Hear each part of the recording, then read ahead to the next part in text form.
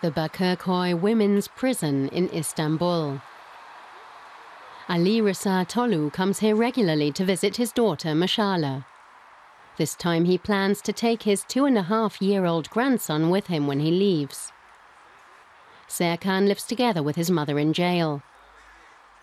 After their half hour visit, the boy is carried out by his aunt.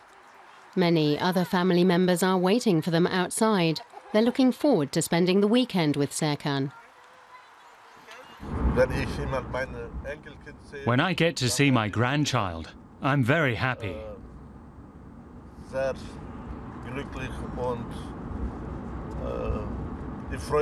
Then I'm so pleased. I feel like the luckiest man in the whole world.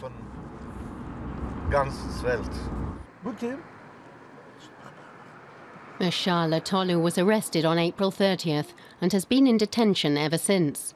Turkey's public prosecutor accuses her of disseminating terrorist propaganda and being a member of a terrorist organization. Tolu, who only holds German citizenship, worked as a journalist and translator for a leftist Turkish news agency. Before spending the weekend with his grandparents, Serkan visits his father, who was active in a socialist party. He was arrested shortly before his wife was. Now in Silivri prison, he's also accused of belonging to a terrorist group. It's not much of a childhood for a two-year-old, living with his mother in one jail and visiting his father in another. After the visit, Ali Rıza Tolu tells us that Serkan and his father were still separated by a pane of glass. This is the second time I brought him over here. Serkan sees him through the glass and talks to him over the phone. It's not nice, but at least he gets to see his father. He was happy and said, Daddy, when are you coming back? His dad said he's vacationing here for a while. Serkan's parents are trying to shield their son from the reality that they're both in prison.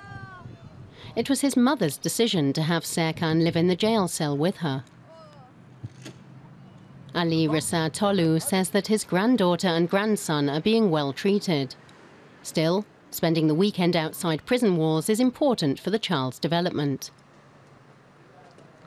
Ali Rıza Tolu regularly meets with his daughter's lawyer. Mesale Tolu's trial is set to begin on October 11th in Istanbul.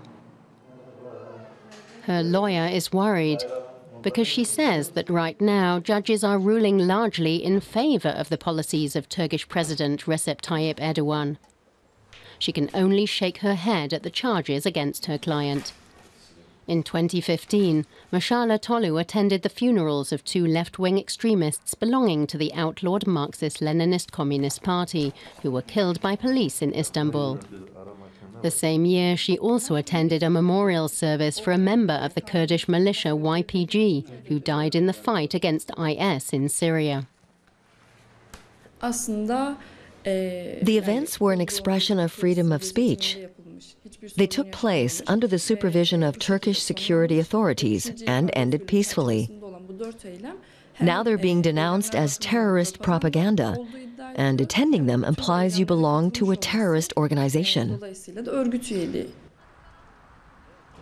It's time for Serkan to go back to his mother. Ali Rıza Tolu hopes his daughter will be released in October, after her trial. But he has his doubts about the justice system. They're always looking for evidence, but there is none. They only arrested her to get revenge on Germany or something.